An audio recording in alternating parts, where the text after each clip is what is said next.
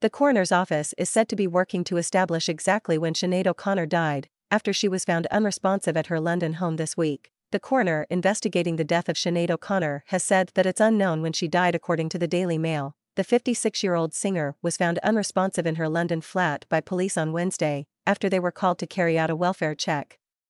She was later pronounced dead at the scene, and her family released a statement to confirm the tragic news. The London Inner South Coroner's Court told the Daily Mail her death had been referred to them and at this moment the date of death is unknown.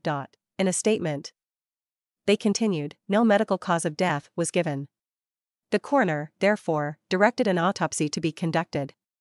The results of this may not be available for several weeks. The Met Police are said to be investigating the circumstances surrounding her sudden death to try and create a timeline of events. In a statement on Thursday, they said, police were called at 11:18 a.m. on Wednesday, July 26, to reports of an unresponsive woman at a residential address in the SE24 area.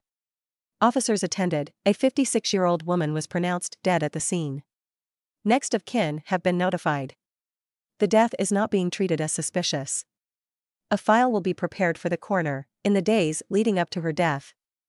Sinead had been active on social media, showing fans around her new penthouse apartment in London. In a video posted to Twitter, she showed off her Martin Johnny Cash electroacoustic guitar and announced plans to write more music. She also apologized for the mess, saying, Unfortunately, your kid passing away, it isn't good for one's body or mind.